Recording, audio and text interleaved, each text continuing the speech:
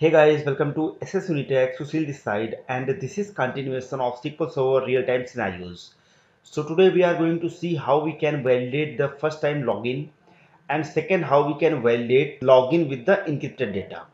So basically in the last video we have seen how we can do the encrypt and decrypt inside the SQL Server on the data level. So if you haven't watched that video, so I would strongly recommend to watch that video. You can get the link right on the top side now go to on the SQL server and we'll try to implement these two. So if you have remember in the last video we have created this login detail table and here we are having four columns. First is the business entity ID, second will be the login ID, third will be the login ID hash value and fourth will be the password. So these four columns will be going to have over here. Now we need to create one more column on this so that we can alter the table. So that will be like alter table then the login details. And here we could add one more column and that column will be going to have like flag as integer. So this will be going to indicate if user is going to log in the first time or not. So we can execute that. And now let me try to execute this. So as of now it is having blank values on this flag. Now go to here and let me try to create one SP and that SP will be going to take two input parameters. First is the login ID and second will be the password. For example, if user is going to log in on the UI side, so that user will be going to supply the user ID and password. And this SP will be going to check if that user is logged in the first time or not. If user log in the first time, then we can return one. If user is successfully logged in then we can return 2 otherwise we can return 0 so it will be going to return 3 status. So let me try to create the SP let me try to comment this code first and after that we'll try to create the SP so let me try to create then we can specify proc then proc name. So sproc we can start with that. Then we can call this SP as validate login users like that. Now let me try to have two input parameters. The first parameter value that is login ID. So we can have this login ID and the data type of this should be varchar 1000.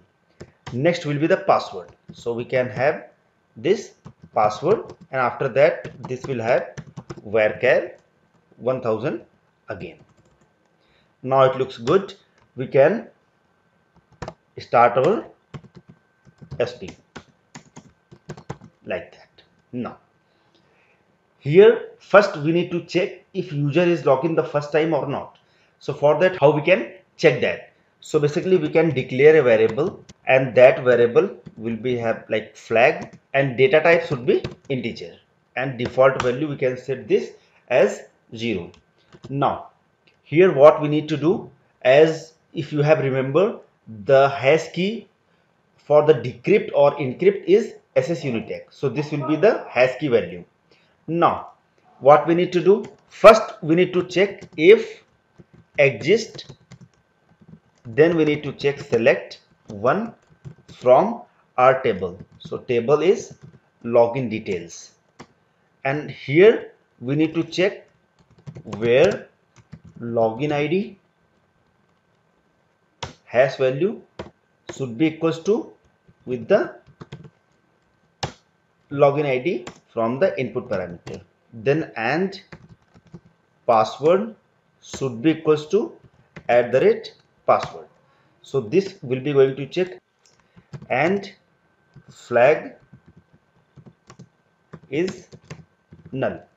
It means we are going to log in the first time on the system and we need to check one more thing like and at the rate password value this value should be ss unitech at the rate 123 now it seems good. Now what we need to do? Here we can have begin then we can set at the rate flag value that should be 1 and we can have like and. Now so we have done for the first time login. Let me try to copy this code and we'll be going to check for the second time or for the validate purpose. So here instead of using this flag and this password we can directly remove that and it seems good now. But here as we have already know these two values are the encrypted values so we need to do the decryption on this value so how we can do that so for that we can call the function which is the decrypt by pass parse. So here the first that will be the hash key value. So that value is ss unitech we can specify directly over here and after that we can close the bracket. Now we need to do the convert on this as well. So we can cast this and here let me have this as and varchar 1000 now everything looks good. Let me try to copy this and paste that in the password. And instead of the login id we can have the password. Now let me try to copy these two lines and use the same on the below check. So here if this value is going to satisfied then we can have this as 2 so now it seems good and we can directly select this at the rate flag value and call this as status. Now everything looks good but here we need to focus one thing. First it is going to check for this and second we are going to check for this but we don't want to check these two again and again. If user is going to log in the first time then it will check only the first code and will return from there. So how we can do that? So here we can create a scope with the ssu and colon. And here we can directly use the go to ssu and here we can directly use go to SSU. So this is the standard that you could follow. So what this SP is going to do, first it is going to take two input parameters like login ID and password and here we have declared this variable that is at the rate flag and value default is 0. Now it is going to check if the login details table we found this login ID and password. And after that if the flag value is null and password is ssunitech at the rate 123 then on that scenario we can directly go on this and say flag value as 1 and we can directly jump to the SSU without executing this second code. If user has been logged in and changed the password and in the second time for example he made the change on the password and in the third time he made the password again with the SS Unitech but this flag value will be going to change and it should not be null. So this first condition will not be satisfied. So it will go on the second code and here it will be going to check if that value is satisfied with the login id and password then it will be going to set flag as 2 and will return directly right here. So let me try to execute this. So everything looks good.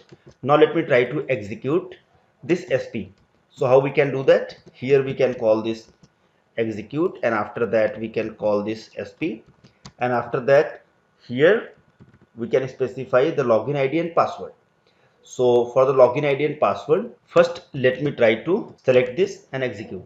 So for the login id let me try to copy this login id and for the password obviously it should be ss unitech at the rate 123 because this is going to login in the first time. So that's why it is returning 1 if we have 1 2 3 1 again so it should be going to return as 2 because we don't have any password with the ss unitech 1 so by using this flag ui person can check if the flag values are 0 1 and 2 so accordingly he can directly jump and navigate between the pages that that person is created. So here I hope you have understand how we can check for the first time login and how we can check for the validate. Next, on the next video we will be going to check if we'll be going to get the status of this as 1. So it means the user will be going to log in as the first time. So we'll need to create one more SP and on that SP we need to create the update statement where we will directly update this login detail table. So that we will see in the next video. Thank you so much for watching this video. If you like this video, please subscribe our channel to get many more videos and don't forget to press the bell icon to get the notification of our newly uploaded videos. See you in the next video.